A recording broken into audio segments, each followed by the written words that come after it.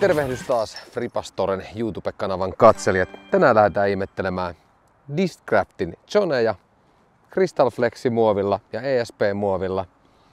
Katsotaan mitä eroa näistä löytyy vai löytyykö mitä. Nyt loppu höpinät, lähdetään heittämään.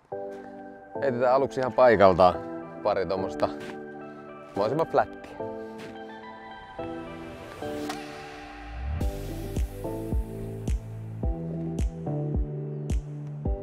Joo, vakaa, vakaa se on.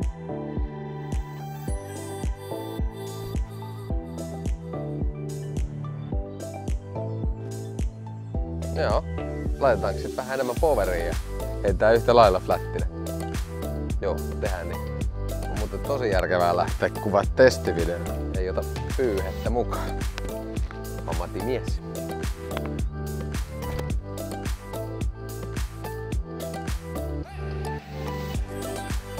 Joo, kyllä siinä on vakautta, mutta aika pitkään se jaksaa kyllä puskea suoraan noin heti kun laittaa enemmän poveri. Katsotaan onko tuossa Crystal Flexissä enemmän vakautta.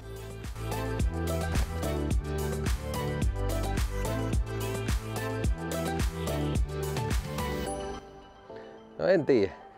En mä nyt tossa huomannut ihan hirveästi eroa, että kumpi sitten kummassa enemmän vakautta. Jos jotenkin tuntuu ehkä, että toi Crystal Flexi lensi jopa pidempään suoraan. En tiedä. Heitellään vielä muutamia heittoja, niin katsotaan, jos saadaan niihin jotain eroa. Vai onko se sitten vaan kummasta muovista tykkää, niin sekin voi olla ihan hyvin näin. Heitetään seuraavat sitten Antsossa ja katsotaan, mitä sitten tapahtuupi.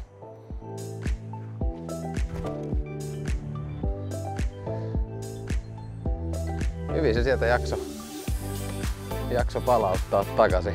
Nyt se oli aika korkea, vähän nokka pystyssä, mutta sieltä se hienosti palautteli. Katsotaan mitä tekee Crystal Flex.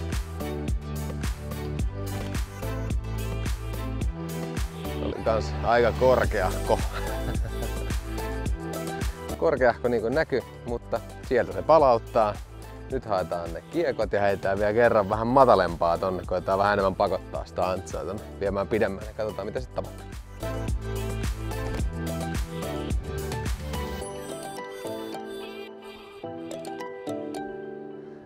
Joo, hienosti se siellä meni pitkään oikealle ja sitten jonkun verran palautti lopussa. Että kyllä, kyllä Zonessa on sopivan, sopivan hyvä vakaus, voisi sanoa näin niin kuin heittoputteriksi. Sitten vielä toinen perä. Nyt laitettiin isompi antsa. Niin kuin näkyy, niin lentää kyllä pitkälle. Sieltä se hyvin palauttaa. Täällä on nyt jonkunmoinen tuuli. Tulee vähän tuolta vasemmalta oikealle, ehkä pieni, pienoinen takatuuli. Niin hyvin se jaksaa taistella tuolta, mikä on tietysti positiivinen homma.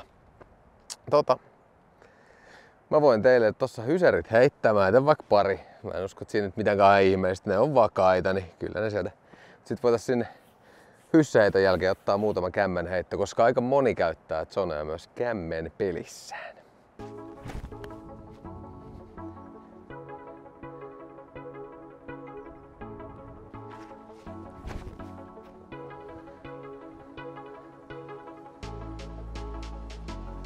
Semmonen huomio nyt näistä muovilaaduista, niin kuin näette, nyt on ihan märkiä nämä kiekot.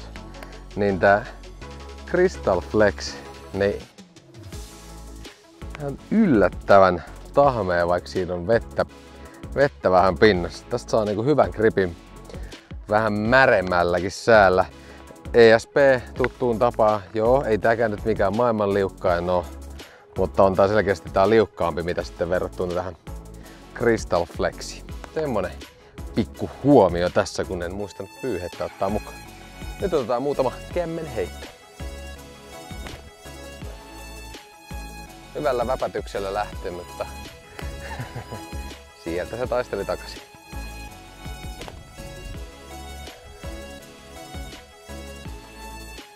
Joo, kyllä ne kämmenelläkin irtoo helposti käsistä, koska ne on tosi matalarimmisiä. Niin sopii kyllä tohon kämmen peliin ehdottomasti hyvin. Mä en uskalla ihan hirveästi vielä heittää sitä, mulla on Vieläkin selkä vähän klesana, niin siinä on nyt kämmen heitot. Mä otin pari niitä otin teille näitte. Se lähtee helposti tosiaan kädestä ja siinä on vakautta. Toisen mä äiti vähän enemmän antsaa, toisen sitten hyssissä. Joo. Jos mä haen kiekot ja otetaan joku pieni yhteenveto, mikä fiilis mulle jää Discraftin zoneista. Tänään tosiaan testattiin Discraftin kahta eri muovilaatua olevaa Jonea eli ESP ja Crystal Flexi. En ihan hirveästi huomannut ainakaan näillä heitoilla näistä eroa. Tuntuu jotenkin, että ehkä tää lensi vähän pidempään suoraan, mutta vaatisi ehkä enemmän heittoa, että löytyy, löytyisi näistä se isompi ero. Mutta muovilaaduista tosiaan, niin kuin sanoin, niin tää vaikka oli vähän kosteita, niin tää tuntui paljon kripikkäämältä, mitä sitten ESP-muovinen.